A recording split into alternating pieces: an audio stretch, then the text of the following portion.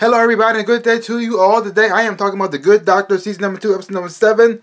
Hubert is episode directed by Marisol Adler, and here we have some things happening. Just like always. First, let us start off with Shaun and Lea. They're living together now, everything's going well, and they're going to the pet store to get a pet. And you're seeing that, well, Shaun's not really comfortable in this place. He's not comfortable being touched and loved in a certain way, but you have Lea who wants to make things work, and so she's trying to find the perfect pet that, that makes both make both of them happy. Shaun, a pet that Shaun's comfortable with, and, and a pet that she can enjoy as well. And they come up with a fish. They have a fish. They got a little tank. They get everything done. And they take the fish home. Everybody's happy. Everything's good. Shaun goes to work, and there he works alongside um, Dr. Reznick and and and they have a case where this guy comes in. He has a little nail in his head. It's superficial, nothing, nothing big deal. They take it out, everything's good until it doesn't. Turns out, well, something got punctured in his back, and he, he has he has to get a kidney. He had to, he got to remove a kidney, but the problem is he only has one kidney. So they go to his brother and say, "Hey, bro, your brother's sick. He needs a, he needs a kidney. You're a good match. Give him a kidney." And he says, "Sure, I would give my brother a kidney because I love my brother, but." I don't, I want to part of the company anymore, so I don't want to sell the company. Have to uh, agree to a, the sell the company, and then I give him a kidney. And then you got this whole back and forth going on. The brother saying, "I'm not selling the kidney. I'm not selling. I'm not. I'm not selling the company. I don't care about if I die." And you got this. Well, he, if you, you want to live and blah blah blah, you don't sell the company. You will get, you'll get this kidney. So you got this back and forth, and you got Shaun and you got Morgan trying to figure out how to make these brothers agree to, to agree to one another without one of them dying. That's some messed up stuff. Then you have what's going on with Claire and her friend Kay, and her, her other friend um her other friend um Dash and um Kay and Dash are a couple. But Kay is sick and she's dying.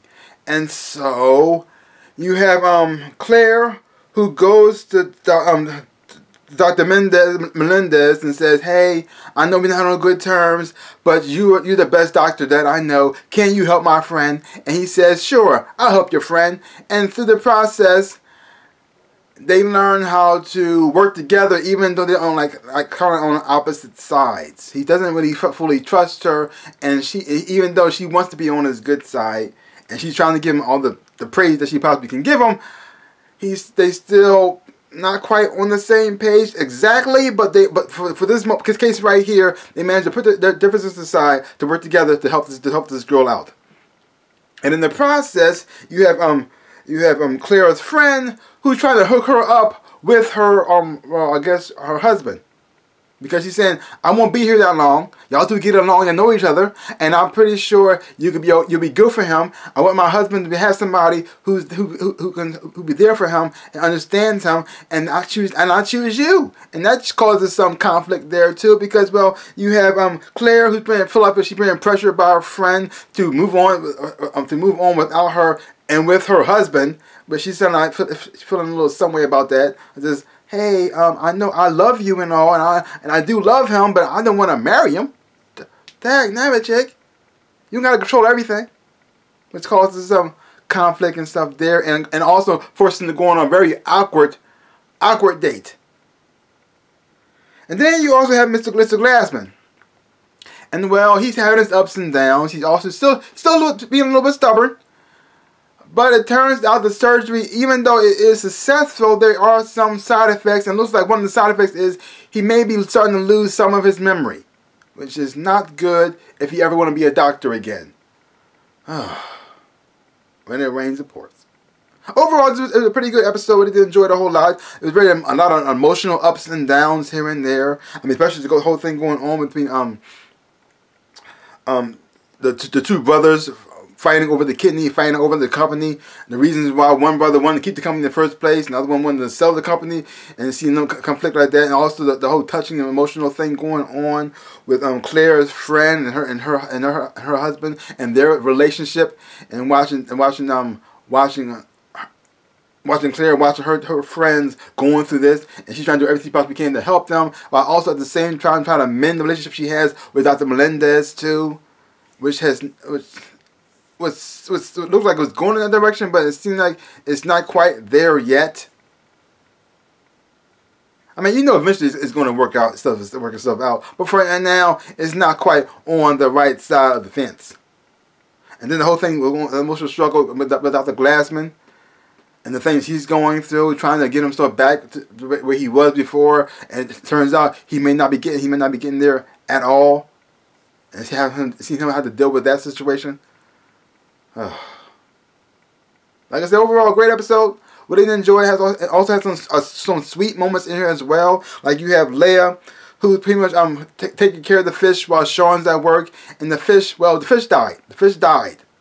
It, did, it didn't it, it didn't last last that long. It died, and then she's freaking out about that because she because she thinking though she left to go to Hershey to start a business with her brother, and that failed.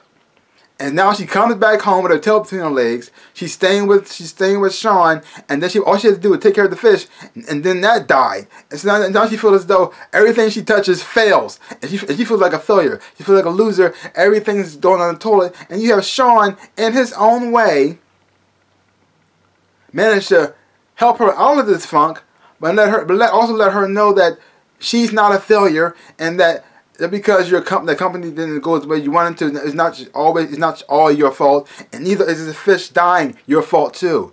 And he managed to encourage her and be there for her, and not in, in his own special way, which was quite beautiful and a very touching, very scene. I did enjoy that.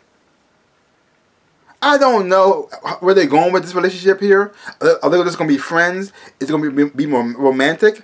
I don't know. That would be very interesting to, to see where it goes. Because I actually do like their chemistry and I like them together on screen. So, anything's possible. Anything's possible.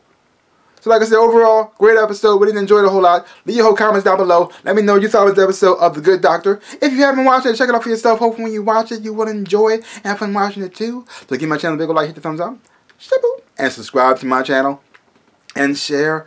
I would appreciate it, like I always say in my dreams in my life. I am the Ninja Rabbit. Uh, peace out uh, people.